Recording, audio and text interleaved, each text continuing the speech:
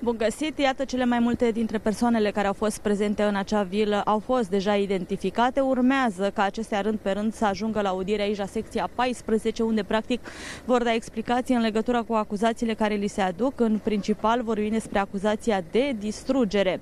Vorbim despre aproape 20 de persoane care au fost până la urmă în acea casă, pentru că cei care au fost inițial ar fi perceput taxe și altor adolescenți care să vină și să petreacă împreună cu ei. Există informații potrivit cărora uh, cei uh, prezenți acolo s-ar fi luat la bătaie și de aici ar fi pornit uh, întreaga, întregul tăvăluc de acolo din acea vilă și distrugerile care s-au produs în casa acelui bărbat.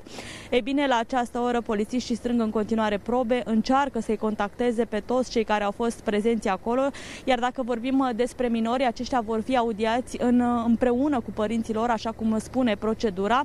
Ei bine, peste 16 ani uh, sunt uh, mai mulți dintre copiii care au fost acolo și care ar putea să răspundă penal dacă, uh, iată, toate indiciile duc către faptul că și ei ar fi distrus lucruri care erau în acea vilă. Vom vedea până la urmă câți dintre aceștia vor ajunge aici la secția 14 poliție. Acum este făcut deja cercul de suspecți. S-au strâns mai multe imagini de pe camere de supraveghere din zonă, s-au strâns mai multe poze pe care aceștia le-au făcut și le-au postat pe rețelele de socializare, iar printre cei prezenți la acea petrecere se numără și un rapper cunoscut uh, care era urmărit de foarte mulți adolescenți și care ar fi participat și el la distrugere.